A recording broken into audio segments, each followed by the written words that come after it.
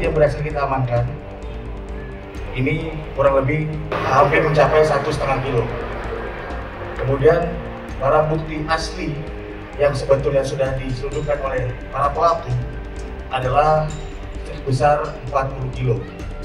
Kemudian bagaimana cara modusnya para pelaku ini melakukan aksinya di wilayah Ponjuru.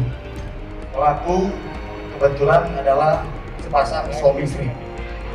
Sepasang suami istri yang memang bekerja menjaga sebuah kontrakan yang mereka sewakan ke masyarakat.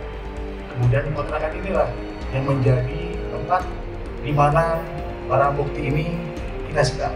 Kemudian jaringan ini tentunya tidak hanya sebatas sepasang suami istri ini, banyak peran-peran serta yang lain dari dikendalikan dari lapas kampung yang kebetulan warga warga Ponjeruk yang ditahan di lapas kampung. Dia kendalikan, kemudian ini pasang suami istri adalah penerima di sini, lalu dia edarkan ke wilayah Jabodetabek. 40 kilo itu diedarkan ke wilayah Jabodetabek. Mas, sampai sekarang